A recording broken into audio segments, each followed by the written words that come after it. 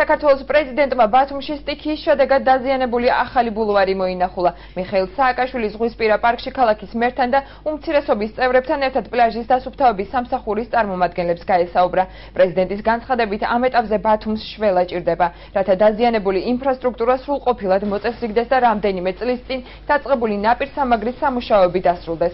მისი განცხადებით ამ დროისთვის 50 მილიონ დოლარიანი პროექტი შეჩერებულია. აღნიშნულთან დაკავშირებით აზიის ბანკთან მოლაპარაკებებს ის პირადად აწარმოებდა.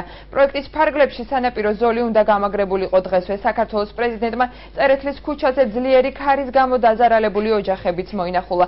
უფრო ვრცლად პრეზიდენტის ვიზიტის შესახებ თავარ გამოშვებაში მოგითხრობთ.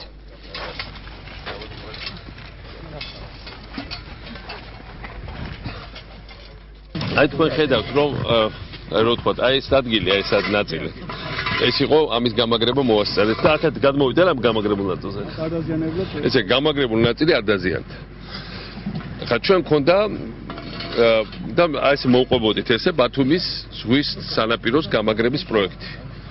რომელიც არის სასიცოცხლო დაუცილებელი ამ ქალაქისთვის, იმიტომ რომ ეს სტორმები ხა ესეთი სტორმი არ ყოფილა, მაგრამ სტორმები ყოველ წელიწადს ასე თუ ისე თითქმის არის აქ და როცა კეთდება ეს ყველაფერი ნაპირის სამაგრის სამუშაოები ყველა ესეთ გარვით სწრაფად გამთავები ქალაქში არის ძალიან მნიშვნელოვანი.